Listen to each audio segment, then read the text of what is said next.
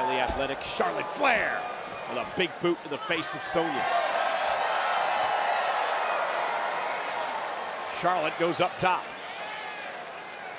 And Flair off the top rope, cross body, lateral press, hook of the leg, and a kick of two by Sonya.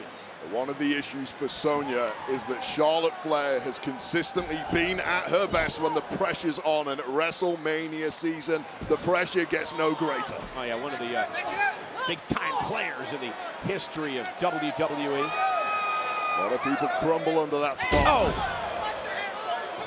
And Sonya takes down Charlotte.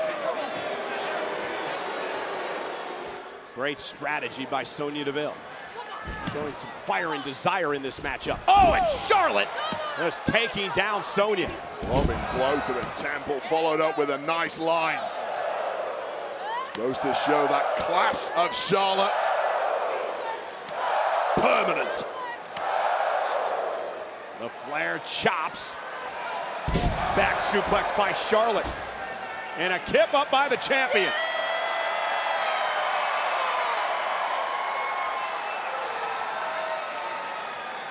Almost a home game tonight for Charlotte Flair here in Greenville, South Carolina.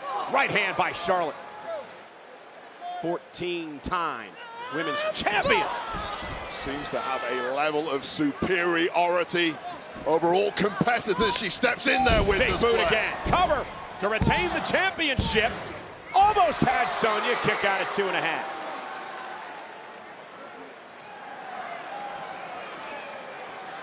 Charlotte pulls Sonya to the corner.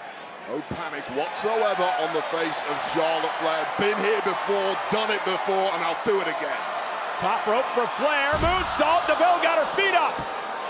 Sonya with an opportunity. Rolling up. Charlotte uses the rope for leverage, and Charlotte still kicking out at two. Again, trying everything in the playbook possible to put away the champ. And again, desperately trying for the figure four. Charlotte able to counter that time. Sunset flip. Charlotte able to roll through. And now looking to tie Sonya Deville up. She's got Sonya hooked. Figure four, bridge to the figure eight. Deville trying to hang on. Simply But no tap out. Here is your winner by submission